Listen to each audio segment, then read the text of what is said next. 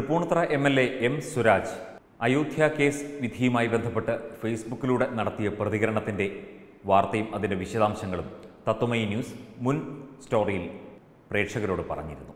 അതിന്റെ ബാക്കിയാണ് ഇപ്പോൾ പറയുന്നത്. വർത്തമാനകാല ഇന്ത്യയിൽ മറിച്ചൊരു വിധിയുണ്ടാകുമെന്ന് നിഷ്കളങ്കരെ നിങ്ങൾ ഇപ്പോഴും പ്രതീക്ഷിച്ചിരുന്നുവോ എന്നായിരുന്നു ഫേസ്ബുക്കിലൂടെ എം സ്വരാജ് ചോദിച്ചത്. ഇത് ഒരു ആഹ്വാനത്തിന്റെ ആദ്യ പടിയല്ലേ എന്ന് ആദ്യ സ്റ്റോറിയിൽ തന്നെ നമ്മൾ സംശയം പ്രകടിപ്പിച്ചിരുന്നു. ഇത്തരത്തിലുള്ള പോസ്റ്റുകളോ പ്രതികരണങ്ങളോ ഒന്നും പാടില്ല എന്ന് കഴിഞ്ഞ കുറേ ദിവസമായി എം സ്വരാജിന്റെ സർക്കാർ തന്നെ എം സ്വരാജിന്റെ മുഖ്യമന്ത്രിയുടെ ഡി ജി പി തന്നെ നിയമപരമായി സർക്കുലർ ഇറക്കി അതുപോലെ കേന്ദ്ര സർക്കാരിന്റെ സർക്കുലറുണ്ട് എം സ്വരാജ് ഫേസ്ബുക്കിലൂടെ നടത്തിയ ഈ പ്രകോപനപരമായ പ്രതികരണത്തിനെതിരെ ഭാരതീയ ജനതാ യുവമോർച്ച സംസ്ഥാന അധ്യക്ഷൻ advocate K P Prakash Babu പരാതി നൽകിയിരിക്കുന്നു. ശ്രീ പ്രകാശ് ബാബുവിന്റെ പരാതിയിൽ പറയുന്ന കാര്യങ്ങൾ ഇവയൊക്കെയാണ്. രാജ്യത്തിന്റെ മതേതര ജനാധിപത്യ സങ്കല്പങ്ങൾ ഉയർത്തിപ്പിടിച്ചതും പരമോന്നത നീതിന്യായ കോടതിയെ ലോകം മുഴുവൻ വിശ്വാസത്തിലെടുത്തതുമായ വിധിയായിരുന്നല്ലോ ബഹുമാനപ്പെട്ട സുപ്രീം കോടതിയുടെ ഭരണഘടനാ ബെഞ്ച് അയോധ്യ കേസുമായി ബന്ധപ്പെട്ട് പുറപ്പെടുവിച്ചിട്ടുള്ളത്. പ്രസ്തുത കേസിലെ വിധിയുമായി ബന്ധപ്പെട്ട് പൊതുജനങ്ങൾക്കോ ഏതെങ്കിലും മതവിഭാഗങ്ങൾക്കിടയിലോ ആശങ്കയ്ക്ക് ഇടയാക്കുന്നതോ വിദ്വേഷങ്ങൾ പരത്തുന്നതോ സുപ്രീം കോടതിയെ വിശ്വാസത്തിൽ എടുക്കാത്തതുമായ യാതൊരു പരാമർശങ്ങളും ആരുടെ ഭാഗത്തു നിന്നും ഉണ്ടാകരുതെന്ന് ബഹുമാനപ്പെട്ട സുപ്രീം കോടതിയും പ്രധാനമന്ത്രിയും സംസ്ഥാന മുഖ്യമന്ത്രിയും ഡി ജി പിയും മുൻകൂട്ടി അറിയിച്ചിട്ടുള്ളതാണല്ലോ. ഈ ഒരു അവസരത്തിൽ ഒരു ജനപ്രതിനിധി നടത്തിയ ഇത്തരം പരാമർശങ്ങൾ അത് അത്ര നിസ്സാരമായി നമുക്ക് കാണാൻ സാധിക്കില്ല.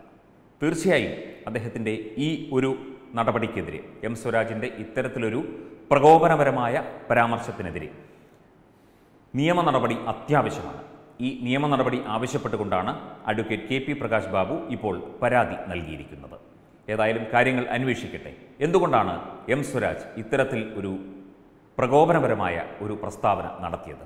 അദ്ദേഹത്തിന്റെ പേര് തന്നെ രസകരമാണ്. സ്വരാജ് മഹാത്മാഗാന്ധി ബ്രിട്ടീഷുകാർക്കെതിരെ ഉപയോഗിച്ച ഒരു വാക്കാണ് സ്വരാജ് അപ്പം രാജ്യവുമായി രാജ്യത്തിന്റെ അഖണ്ഡതയും രാജ്യത്തിന്റെ സ്വാതന്ത്ര്യവുമായൊക്കെ അടുത്ത് ബന്ധം പുലർത്തുന്ന ഒരു വാക്കാണല്ലോ സ്വരാജ്.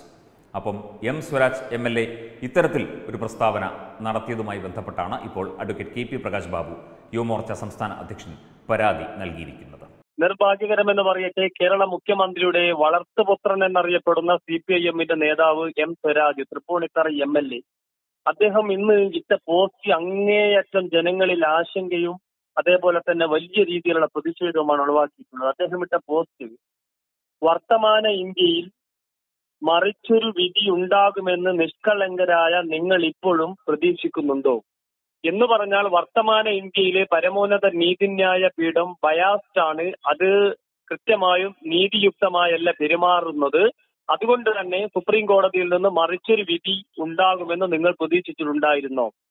എന്താണ് ഇതിന്റെ അർത്ഥം? എന്താണ് സ്വരാജിനെ പോലെയുള്ള ഒരു എം എൽ എ ഇതിലൂടെ ഉദ്ദേശിച്ചിട്ടുള്ളത്? ഈ കൃത്യമായ വിധി സുപ്രീം കോടതിയിൽ ഒരു ഡിസെൻഡിംഗ് ജഡ്ജ്മെന്റ് പോലും ഇല്ലാതെ സുപ്രീം കോടതിയുടെ വിധി രാജ്യത്തെ മത രാഷ്ട്രീയ ജാതിർ ഭേദമന്യെ സ്വീകരിച്ചപ്പോ വലിയ രീതിയിലുള്ള ഒരു ആശങ്കയാണ് ഒരു സി പി ഐ എമ്മിന്റെ നേതാവ് ഭരണകക്ഷിയുടെ നേതാവ് എം എൽ എ ഉണ്ടാക്കിയിട്ടുള്ളത്. അതായത് വളരെ മുൻവിധിയോടുകൂടിയാണ് സുപ്രീം കോടതി ഈ വിധി പുറപ്പെടുവിച്ചിട്ടുള്ളത്. ഇത് ഞങ്ങൾ പ്രതീക്ഷിച്ചതാണ്. ഞങ്ങൾ പ്രതീക്ഷിച്ചതാണെന്ന് പറഞ്ഞ സ്വരാജ് പറയണം. അത് ആരെയാണ് ഈ രാജ്യത്തിന്റെ പരമോന്നത നീതിന്യായ പീഠത്തെ അവിശ്വസിച്ചുകൊണ്ട് ജനങ്ങളിൽ അവിശ്വാസം അർപ്പിച്ചുകൊണ്ട് അവർ പറഞ്ഞിരിക്കുന്നത് ഇത് നീതിയുക്തമായിട്ടുള്ള വിധിയല്ല. ഇതിന്റെ അർത്ഥം ഇതാണ്. ഇത് നീതിയുക്തമായിട്ടുള്ള വിധിയല്ല. വർത്തമാനകാല രാഷ്ട്രീയത്തിൽ ഈ വിധി ഞങ്ങൾ ബയാസ്ഡ് ആയിട്ടുള്ള ഈ വിധി പ്രതീക്ഷിച്ചതാണ്. ഇത് കേൾക്കുന്ന ഒരു വിഭാഗം ജനങ്ങളിൽ സ്വാഭാവികമായിട്ടും ചില സംശയങ്ങളുണ്ട് ആശങ്കയുണ്ട്. അത് വിദ്വേഷത്തിന്റെയും വിഭാഗീയതയുടെയും വിത്ത് പാകിയതാണ് കലാപത്തിനുള്ള രഹസ്യമായിട്ടുള്ള ആഹ്വാനമാണ്. അതുകൊണ്ട് വളരെ കൃത്യമായി ഞാൻ ഡി ജി പിക്ക് ഇന്നലെ അദ്ദേഹത്തിന്റെ പത്രപ്രസ്താവന അതായത് എന്തെങ്കിലും ആശങ്കയോ കലാപമോ ഉണ്ടാക്കാൻ ശ്രമിക്കുന്നവർക്കെതിരെ ജാമ്യമില്ലാ വകുപ്പിൽ കേസെടുക്കും എന്നുള്ള ആ പത്രക്കുറിപ്പിന്റെ കോപ്പി സഹിതം സ്വരാജ് ഇന്ന് പോസ്റ്റ് ചെയ്തിട്ടുള്ള ഒരു എം എൽ എ പോസ്റ്റ് ചെയ്തിട്ടുള്ള പോസ്റ്റ് അടക്കം അദ്ദേഹത്തിന് പരാതി അയച്ചിട്ടുണ്ട്. അദ്ദേഹം ഇതിൽ നിന്ന് ഒരു നടപടി എടുക്കുമെന്നാണ് ഞാൻ പ്രതീക്ഷിക്കുന്നത്. അല്ലാത്ത പക്ഷം തിങ്കളാഴ്ച തന്നെ ഞാൻ കോടതിയെ സമീപിക്കും. മാത്രമല്ല ഒരു കാര്യം നാം ഓർമ്മിക്കേണ്ടത്. എല്ലാ കാര്യങ്ങളിലും പരസ്പരം ആക്രോശിച്ചുകൊണ്ടും പരസ്പരം കലാപത്തിന് ആഹ്വാനം ചെയ്യുന്ന രീതിയിലും വിദ്വേഷമുണ്ടാക്കുന്ന തരത്തിലും പോസ്റ്റുകൾ ഇടുന്ന സോഷ്യൽ മീഡിയ സമൂഹ മാധ്യമം ഇക്കാര്യത്തിൽ തികച്ചും നിശബ്ദമായിരിക്കുമ്പോഴാണ് വളരെ പരസ്യമായി ഇവരെല്ലാം തന്നെ ഇവരുടെ വികാരങ്ങളെ വ്രണപ്പെടുത്തി ഇവരിൽ കലാപത്തിനും മറ്റും ചിന്ത ഉളവാക്കുന്ന രീതിയിൽ കൃത്യമായി ആസൂത്രിതമായി ഇങ്ങനെ ഒരു പോസ്റ്റ് വന്നിട്ടുള്ളത് സ്വരാജിന്റെ ഭാഗത്ത്. അതുകൊണ്ട് നടപടി എടുക്കണം നടപടി നടപടിയെടുത്തേ പറ്റൂ മുഖ്യമന്ത്രിയെ ഓർമ്മിപ്പിക്കുകയാണ്. അങ്ങയുടെ വാക്കിന് അല്പമെങ്കിലും വിലയുണ്ടെങ്കിൽ ഡി ജി പിയുടെ വാക്ക് സത്യസന്ധമാണെങ്കിൽ സ്വരാജിനെതിരെ കേസെടുത്ത് മാതൃക കാണിക്കണം. ഇനി ഇത്തരം പ്രവണതകളെ അത് മുളയിലെ നുള്ളുന്ന നടപടി സ്വീകരിക്കണം എന്ന് അഭ്യർത്ഥിക്കുകയാണ്. അല്ലാത്ത പക്ഷം കോടതിയിൽ പോയിട്ട് നിയമപരമായിട്ട് നേരിടാൻ ഞങ്ങൾക്കറിയാം. Web desk news